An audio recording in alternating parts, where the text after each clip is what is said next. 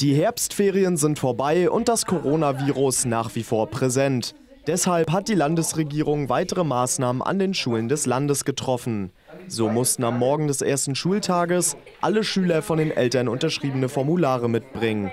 Zum einen wurde dort der Gesundheitszustand abgefragt, also ob ein Kind Covid-19-Symptome aufweist. Zum anderen sollten die Erziehungsberechtigten bestätigen, dass sich ihr Kind in den vergangenen 14 Tagen nicht in einem nationalen oder internationalen Corona-Risikogebiet aufgehalten hat.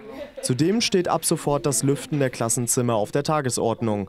In regelmäßigen Intervallen sollen nun alle 20 Minuten auch während des Unterrichts jeweils drei bis fünf Minuten gelüftet werden. Für die Pausen ist Querbelüftung vorgesehen, also mit Durchzug bei geöffneter Tür.